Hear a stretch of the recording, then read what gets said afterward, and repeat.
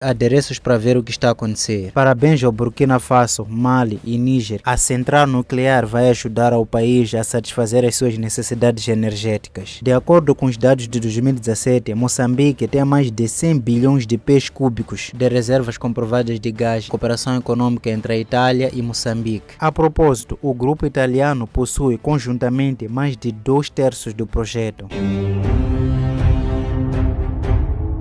O Burkina Faso está a fazer coisas incríveis que esperamos de um país africano como a liderança jovem. Ibrahim Traoré acaba de assinar um acordo com a empresa russa Rosatom para construir uma usina nuclear no Burkina Faso. A central nuclear vai ajudar ao país a satisfazer as suas necessidades energéticas. E o acordo foi assinado pelo ministro da Energia e Minas na sequência de um pedido feito por Ibrahim Traoré ao presidente russo durante a cimeira Rússia-África em São Petersburg em julho. Traoré Escolheu a Rússia depois da sua relação com a antiga potência colonial, a França, se rompeu, enquanto a Rússia se esforça para quebrar o isolamento ocidental devido ao conflito na Ucrânia e expandir a sua influência em África. Então, é realmente uma ótima notícia porque, como sempre digo, não adianta apenas falar que quer transformar o país ou fingir que as coisas estão mudando, dizendo sou novo presidente, quero mudar o país, as coisas irão melhorar, mas no final do dia nada muda. Queremos mais ações do que palavras palavras, porque afinal as ações devem falar mais alto que as palavras. Sabemos que o Burkina Faso é um dos países menos eletrificados do mundo, mas com lindas e mais acolhedoras pessoas. Essas lindas pessoas terão agora acesso à eletricidade. O acordo inclui o desenvolvimento de infraestruturas, tecnologias nucleares, equipamentos médicos e agrícolas, assistência na segurança e proteção nuclear, entre outras coisas. Eu sei que muita gente pensa que por ter uma junta militar na liderança, o Burkina Faso não vai prosperar. Não sei porque as pessoas tendem a pensar que para se ter inteligente tem que se ter mestrado, doutoramento, PhD e por mais que seja sobre ser inteligente ou obter diplomas na universidade, acho que ser moral é mais necessário do que um pedaço de papel nas mãos. Porque se a sua moral seus valores não estiverem alinhados com as boas coisas do país, você pode ter tanto doutorado quanto quiser, o seu país vai sofrer porque a sua moralidade está em outro lugar. E mais importante, a sua lealdade estará alinhada com outras pessoas pessoas em vez com seu próprio povo. Então, esse projeto é ótimo porque, de acordo com os dados de 2019, o cabaz energético do Burkina Faso era dominado por biocombustíveis e resíduos, com os produtos petrolíferos a representar um terço do fornecimento total de energia. Em 2020, apenas 11% da população tinha acesso a gás natural e 21% tinha acesso à eletricidade, tornando o Burkina Faso num dos países menos eletrificados do mundo. Sim, este país semi-árido com mais de 20 milhões de habitantes habitantes tem uma capacidade instalada de geração de energia de pouco mais de 420 megawatts. E agora, tal como os vizinhos Mali e Níger, estão a reforçar os laços com a Rússia, especialmente na cooperação energética e militar. E mais uma vez, meus amigos, é ótimo ver a comunicação e a cooperação desses países africanos que recentemente se libertaram estar a desenvolver-se nesse momento. Todo mundo tem direito à eletricidade, todo mundo devia ter eletricidade. A eletricidade é muito importante em 2023. Quase tudo que você faz depende dela. Quer dizer, para você assistir a esse vídeo nesse momento e obter essa preciosa informação sem filtrar, precisa de eletricidade. Você precisa de energia para usar o seu telefone ou laptop. Precisamos de energia para a indústria e para os negócios. Mas infelizmente, hoje em dia, a maioria das pessoas em África não tem acesso à eletricidade. Países como o Níger, com tanto urânio, exportam-no para a França. A França, com urânio exportado do Níger, gera eletricidade que por sua vez vende a outros países europeus. E as próprias pessoas do Níger não têm eletricidade, dormem no escuro e 18% das pessoas que possuem têm de importar eletricidade vinda da Nigéria. E muitas pessoas na Nigéria nem sequer têm acesso à eletricidade, dormem no escuro. Enquanto isso, o governo nigeriano gera muito dinheiro com a venda de energia ao Níger. Sim, é uma loucura. Então, penso que para desenvolvermos, a primeira coisa que temos de fazer é criar infraestruturas. Precisamos de infraestruturas decentes e vejo que este governo está claramente a caminhar na direção certa cooperação elétrica com os russos. O que você acha? Eu acho que é realmente um bom passo rumo à eletrificação desse lindo país africano. Mas por que cooperar com a Rússia? Porque, obviamente, você precisa de alguém que te respeite e até agora os russos mostraram respeito aos africanos. Parece que não querem problemas ou te dizer o que deves fazer para ter apoio. Não se importam com a sua situação, seus parlamentos, sua constituição, suas leis. Isso não é da conta deles. Ao contrário de alguns países que vêm para a África e querem lhe dizer como viver viver sua vida? Quem deveria ter permissão para se casar? Quem deveria ter permissão para fazer o quê? Literalmente microgerenciar toda a esfera da sua vida. É por isso digo que é uma notícia muito boa, porque incentiva as pessoas a verem que existem formas alternativas de vida. Obviamente, existem pessoas que estão a criticar esse projeto, dizendo que querem a eletricidade renovável. Você sabe que o mundo está transitando para energia mais limpa e quer se livrar da energia nuclear. O Burkina Faso precisa de um tempo para desenvolver primeiro. Precisa ganhar algum dinheiro, assim como o Ocidente faz. O que está a acontecer aqui é muito interessante. O Ocidente usa combustíveis fósseis, usa todo tipo de eletricidade, todo tipo de energia para desenvolver a América e a Europa. Mas quando os africanos usam a mesma energia para desenvolver a África, eles negam. Não devemos usar porque cria problemas para o nosso planeta. Isso não faz sentido e vou dar alguns exemplos no momento. Mas a realidade é que quando eles usam gasolina ou petróleo para ganhar dinheiro, ninguém fala isso. Usam a borracha para criar pneus, ganhando tanto dinheiro e enriquecer drasticamente. Usam energia nuclear para obter eletricidade e desenvolver a indústria. Ninguém diz absolutamente nada. Mas uma vez que os países africanos tentam fazer a mesma coisa para desenvolver o continente, eles dizem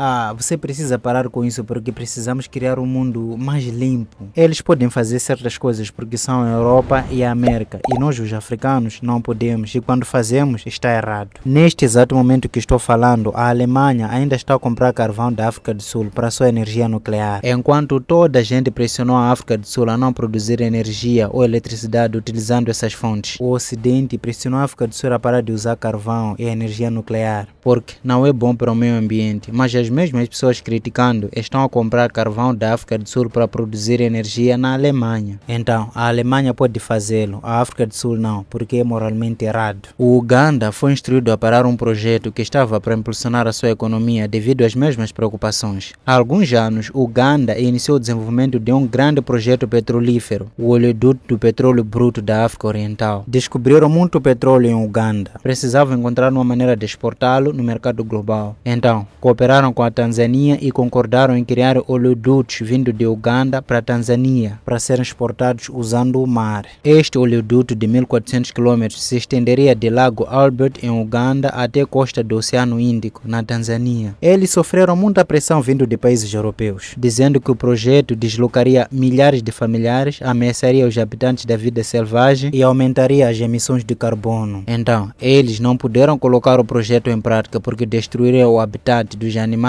a fauna e a flora e assim por diante. Em outras palavras, estão basicamente dizendo o seu projeto vai render muito dinheiro, destruir animais, casas e não é bom para o seu povo. O que significa que a Europa se preocupa mais com os animais e o povo de Uganda do que os próprios ugandenses, que lucrariam com esse projeto, gerando empregos e oportunidades para as pessoas. De acordo com os dados de 2017, Moçambique tem mais de 100 bilhões de pés cúbicos de reservas comprovadas de gás e a Eni, o grupo energético italiano, a ExxonMobil, a CNPC da China, a empresa energética portuguesa Galp e a Korean Gas Corporation tiveram um projeto para explorar o gás. Mais uma vez, nesse mesmo período, o Ocidente diz que o mundo não deveria desenvolver novos projetos de gás natural e que este projeto de Moçambique deveria ser interrompido. E acrescentaram, o desenvolvimento de grandes depósitos de gás ao largo da costa de Moçambique poderá não impulsionar a economia do país como previsto, mas nem todo mundo estava contra o projeto. Por exemplo, a Itália e a China. A primeira-ministra italiana, Giorgia Meloni, disse durante uma visita ao chefe do grupo energético italiano Eni que os campos de gás descobertos em Moçambique representam uma enorme oportunidade para o desenvolvimento do país. Após uma reunião com o presidente Nunzi, Meloni disse que a Eni é o melhor exemplo da cooperação econômica entre a Itália e Moçambique. Concordamos com o presidente de Moçambique que os campos descobertos na costa do norte de Moçambique são uma grande oportunidade para o desenvolvimento desta nação e também para fortalecer o nosso relacionamento. Estima-se que o campo de gás localizado na bacia offshore do Rovuma contenha 500 bilhões de metros cúbicos de gás natural. A Eni, controlada pelo governo italiano, é operadora do projeto flutuante de gás natural liquefeito, que tornou Moçambique produtor e exportador global de GNL a partir de novembro. A propósito, o grupo italiano possui conjuntamente mais de dois terços do projeto, juntamente com a ExxonMobil e a empresa chinesa CNPC. A empresa empresa energética portuguesa Galp, a Korean Gas Corporation e a petrolífera estatal moçambicana ENH são os parceiros minoritários com apenas 10% de participação cada. Meloni disse que 70% do Fundo Climático da Itália, ou cerca de 3 bilhões de euros, são reservados para a África. Ela disse: a Europa tem um problema de abastecimento de energia, enquanto a África é potencialmente um grande produtor de energia. Se juntarmos as duas coisas, podemos construir um futuro diferente de cooperação entre os nossos continentes sobre energia, mas também sobre matérias-primas. Portanto, para dizer que esta visita foi breve,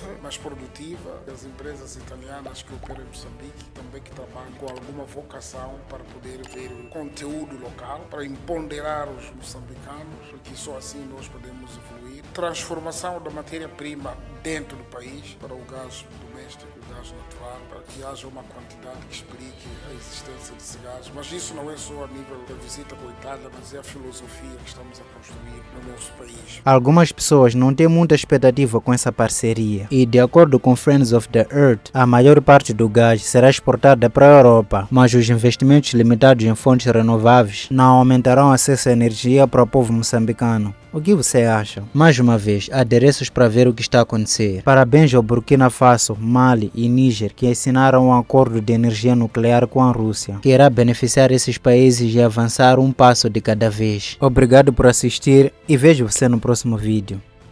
Tchau. E não esqueça de partilhar. Partilhe com seus amigos e familiares. Nos ajuda a crescer. Obrigado. Tchau.